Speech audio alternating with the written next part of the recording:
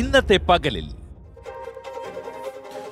ഇന്ന് കേരളത്തിലുണ്ടായ പ്രധാന വാർത്ത എന്തെന്ന് ചോദിച്ചാൽ ഉറപ്പായും നിയമസഭയിലെ ഇന്നും രണ്ടാം ദിനവും തുടർച്ചയായി സഭ പ്രക്ഷുബ്ധമാകുന്നു. സാധാരണഗതിയിൽ നമ്മൾ പറയാറ് പ്രതിപക്ഷ ബഹളത്തിൽ പ്രക്ഷുബ്ധമാവുന്നു എന്ന് പറയുന്നെങ്കിൽ ഇന്ന് ഭരണപക്ഷത്തെ അംഗങ്ങളും തീരെ മോശമായിരുന്നില്ല. അതിന് കാരണം ഭരണപക്ഷ അംഗങ്ങൾ പ്രതിപക്ഷത്തെ വെല്ലുന്ന രീതിയിൽ ബഹളം വെക്കുന്നുണ്ടായിരുന്നു സഭയിൽ. അതിന് കാരണം മുഖ്യമന്ത്രിക്ക് നേരെ അറ്റാക്ക് പ്രതിപക്ഷം നേർക്കുന്ന അറ്റാക്ക് നടത്തി എന്നുള്ളതാണ്. മുഖ്യമന്ത്രിയെ പ്രകോപിപ്പിക്കുക എന്നുള്ളത് സ്ട്രാറ്റജി ആയിരുന്നു എന്നറിയില്ല. കാര്യം എന്താ ലൈഫ് മിഷൻ കോഴ കേസിലെ പുറത്തു വന്ന ചാറ്റുകളുമായി ബന്ധപ്പെട്ട് അതിൽ മുഖ്യമന്ത്രിയുടെ പേരടക്കം ചൂണ്ടിക്കാട്ടി വളരെ അഗ്രസീവായി വളരെ ഷാർപ്പായി മാറ്റിക്കൊണ്ട് നടൻ സഭയിൽ മുഖ്യമന്ത്രിക്ക് നേരെ നേർക്കുന്ന ആരോപണങ്ങൾ തൊടുത്തുവിട്ട് മുഖ്യമന്ത്രി പലയാവർത്തി പ്രകോപിതമാവുന്നത് കണ്ടു. അങ്ങനെ സഭ തുടർച്ച രണ്ടാം ദിവസവും പിരിയുകയാണ്. വേണുഗോപാലകൃഷ്ണൻ ചേർന്ന് വേണിച്ചേട്ടാ ഇപ്പോൾ സാധാരണ രീതിയിൽ നമ്മൾ തർക്കം ഉണ്ടാകുമ്പോൾ പറയാറുള്ളത് പോലെ ഇയാളുടെ ഉപദേശം എനിക്ക് വേണ്ട എന്നൊക്കെ രീതിയിൽ മുഖ്യമന്ത്രി പറയുന്നത് കേട്ടു. അപ്പോൾ മുഖ്യമന്ത്രി പ്രവോക്ക് ചെയ്യുന്നതിൽ ഒരുപക്ഷെ വിജയിച്ചു എന്നിരുന്നാൽ പോലും അത് കഴിഞ്ഞിട്ട് എം പി രാജേഷ് സംസാരിക്കുന്നുണ്ട്. എം പി രാജേഷ് വളരെ കമ്പോസ്റ്റായി പറയുന്നു നിങ്ങളുടെ ഇ ഡിയുടെ നിങ്ങളുടെ എന്താണ് നിലപാട്? നിങ്ങൾക്ക് ദേശീയ ഇവിടെ ഒരേ നിലപാടാണോ? എന്ന ചോദ്യത്തിലൂടെ അല്ലെങ്കിൽ നിങ്ങൾ ഇ ഡിയുടെ വക്കീലാണോ? അവിടെ അവിടെ രാഹുൽ ഗാന്ധി ആണെങ്കിൽ ഇവിടെ നിങ്ങളുടെ നേതാവ് മോദിയും ഇ ഡിയുമാണ് എന്നൊക്കെ പറയുന്നതിലൂടെ ഒരു പരിധിവരെ പിടിച്ചു നിൽക്കാൻ സർക്കാരിന് കഴിഞ്ഞോ? അങ്ങനെ വേണമെങ്കിൽ ആശ്വസിക്കാൻ പറഞ്ഞ പക്ഷത്തിന്. പക്ഷേ ഇന്നിപ്പോൾ ഹാഷ്മി ആദ്യം സൂചിപ്പിച്ച പോലെ തന്നെ ശക്തമായ പ്രകടനമായിരുന്നു കുഴൽനാടന്റെ ഭാഗത്തുനിന്നുണ്ടായത് ഒന്നാമതായി ഇപ്പോൾ ലൈഫ് മിഷനിൽ ഈ പറയുന്ന ശിവശങ്കറെ അകത്തിട്ടിരിക്കുന്നു. ഇ ഡി നോട്ടീസിനോട് മുഖം തിരിച്ച് സി എം രവീന്ദ്രൻ നിൽക്കുന്നു. ആ ഘട്ടത്തിൽ നിൽക്കുന്ന ഒരു വിഷയമാണ്. അപ്പോൾ അതിൽ മുഖ്യമന്ത്രിയെ നേരിട്ട് പ്രതിരോധത്തിലാക്കുന്നൊന്നും ഇതുവരെ വന്നിട്ടില്ല. എന്നാൽ ഇന്ന് ആ ഭാഷ്യം ഉണ്ടാക്കാൻ പ്രതിപക്ഷത്തിന് കഴിഞ്ഞു. ഇപ്പോൾ സതീശൻ പറയുന്നുണ്ടായിരുന്നു മുഖ്യമന്ത്രി ഇതിൽ നേരിട്ട് ഇൻവോൾവ് ആണെന്ന് ഞങ്ങൾ പറയുന്നില്ല. പക്ഷേ മുഖ്യമന്ത്രിയുടെ ഓഫീസിൽ ഇതിൽ ആദ്യന്തം ഇൻവോൾവ് ആണ്.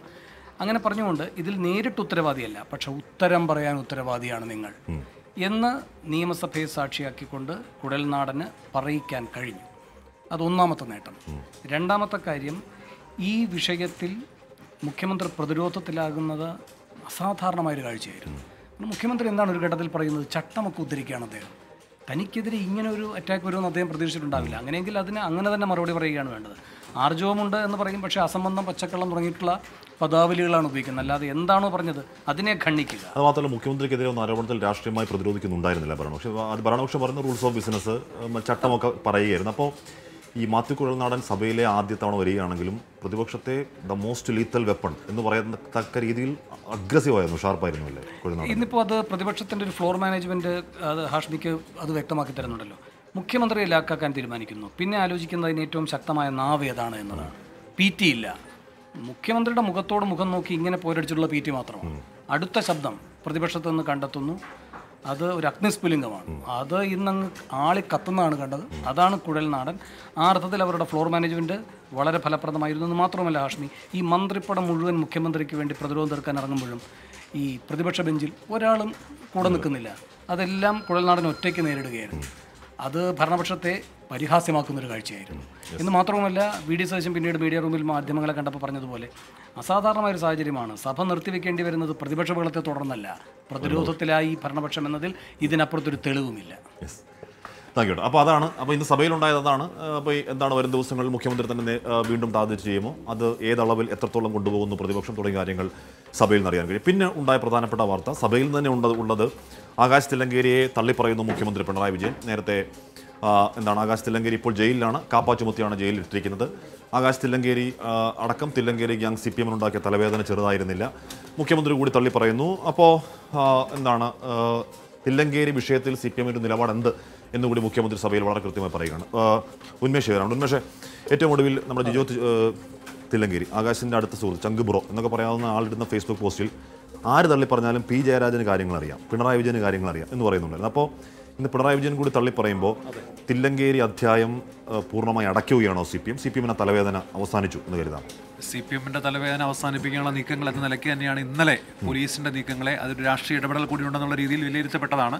ഇത്രയധികം കേസുകൾ ഉണ്ടായിരുന്ന ആളുകൾ എങ്ങനെ ഇത്ര നാൾ ഇങ്ങനെ പുറത്തു നിന്നുള്ള ചോദ്യം ഒരു ഭാഗത്ത് നിൽക്കുന്നുണ്ട്. ഏതായാലും അവരെ കാപ്പ വിമത്തി അറസ്റ്റ് ചെയ്ത് ഇന്ന് പുലർച്ചെ കണ്ണൂർ ജയിലിലേക്ക് കൊണ്ടുപോയിട്ടുണ്ട്. മുഖ്യമന്ത്രി ഇന്ന് നിയമസഭയിൽ പറഞ്ഞത് ഗുണ്ടകളെ സംരക്ഷിക്കുന്ന രീതി സർക്കാരിനില്ല സി പി എമ്മിനില്ല എന്നുള്ള തരത്തിൽ മറുപടി മുഖ്യമന്ത്രി പറയുകയും ചെയ്യുന്നുണ്ട്. പക്ഷേ അത് സി പി എമ്മിന് വരും ദിവസങ്ങളിലും രാഷ്ട്രീയ തലവേദനയെ തന്നെ വിഷയമുണ്ടാകും. ആറ് മാസത്തേക്ക് അകത്ത് കിടക്കും. അതിനുശേഷം പിന്നെ എന്താണെന്നുള്ളത് മറ്റൊരു ചോദ്യമാണ്. ആകാശ് തിലങ്കരിക്കെതിരെയാണെങ്കിൽ പന്ത്രണ്ട് പതിമൂന്ന് കേസുകൾ ജിജു ജലങ്കരിക്കെതിരെ ഇരുപത്തിരണ്ട് കേസുകൾ എന്നാണ് ആ കണക്ക്. ഏതായാലും ജില്ലാ കളക്ടർ ഉത്തരവ് പ്രകാരം അവർ ജയിലിനകത്തായിട്ടുണ്ട്. ആറുമാസം കഴിഞ്ഞ് തടവ് അനുഭവിച്ച് പുറത്തിറങ്ങണം. അപ്പോഴും വിഷയം സജീവമായി തന്നെ വീണ്ടും ഉയർന്നു വരുമെന്നാണ് കരുതേണ്ടത്. എന്തായാലും കാത്തിരുന്നതാണ് താങ്ക് യു അന്വേഷ് എന്തായാലും അതാണ് തില്ലങ്കേരി വിഷയം ഒരു തലത്തിൽ സി പി എമ്മിന് വലിയ തോതിൽ പ്രതിരോധം ഉണ്ടാക്കിയിരുന്നു. ഓർക്കണം പത്ത് തൊണ്ണൂറ്റിനാലിൽ ജനിച്ച ഇരുപത്തെട്ട് വയസ്സ് മാത്രം പ്രായമുള്ള ഒരു പയ്യൻ ഉയർത്തുന്ന വെല്ലുവിളിക്ക് വേണ്ടി സി പി എമ്മിനോട് രാഷ്ട്രീയ വിസ്തീർണ യോഗം നടത്തേണ്ടി വന്നതാണ്. ഷാജർ അടക്കമുള്ളവർ പൂർണമായ ഭാഷയിൽ തള്ളിപ്പറഞ്ഞതാണ്. പിന്നെയും ഞങ്ങൾക്ക് പറയാൻ ചിലതുണ്ട് എന്ന തരത്തിൽ ഫേസ്ബുക്ക് പോസ്റ്റുകളിൽ സജീവമായിരുന്നു തില്ലങ്കേരി ഗ്യാങ്.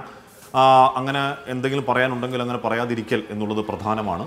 കാപ്പ ഉണ്ടാകുന്നു. കാപ്പ ചുമത്താൻ ആവശ്യമായ നിയമപരമായ ബേസ് ഉണ്ട് എന്ന് നിസ്സംശയം പറയാം. രണ്ട് കൊലപാതക കേസുകൾ അസംഖ്യം സംഘടന കേസുകൾ നേരത്തെ ഉന്മേഷ് പറഞ്ഞ പോലെ അത്രയധികം കേസുകളുണ്ട്. നമുക്ക് കാത്തിരുന്ന് കാണാം.